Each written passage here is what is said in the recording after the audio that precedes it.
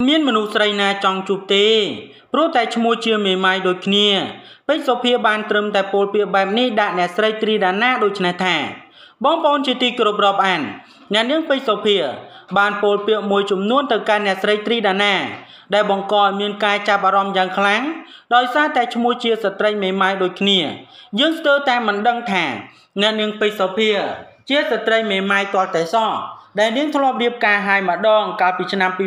2015ជាបរិះអានិកជនខ្មែរនៅអាមេរិកដែលមករៀបអាពាហ៍ពិពាហ៍ជាមួយនឹងនាងហើយ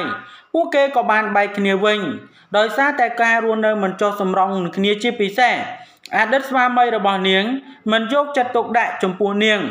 ដែលបែបនេះហើយទើបធ្វើឲ្យនាងមានការអរណីខឹងសម្បា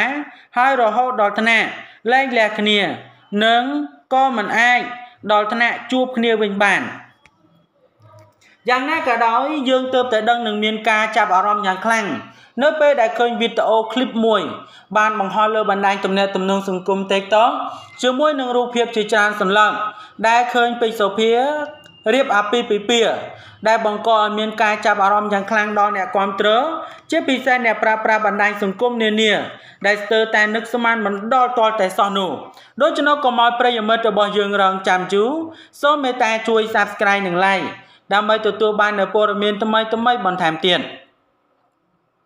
ជាការពិតណាស់តារាចម្រៀងពេជ្រសុភា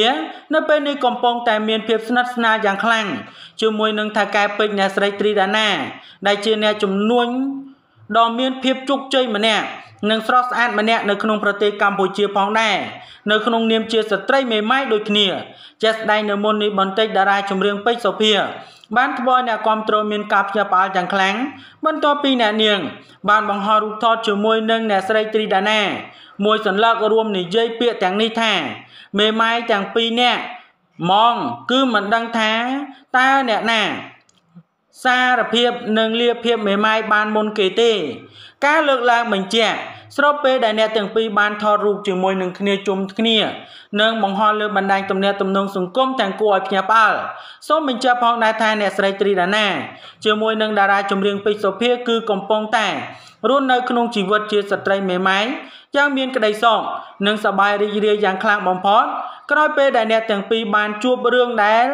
លែងលះស្វាមីដូចគ្នា ហើយឥឡូវនេះអ្នកទាំងពីរបានរកស៊ីជាមួយនឹងគ្នា ជាពិសេសស្របពេលដែលអ្នកស្រីត្រីដាណា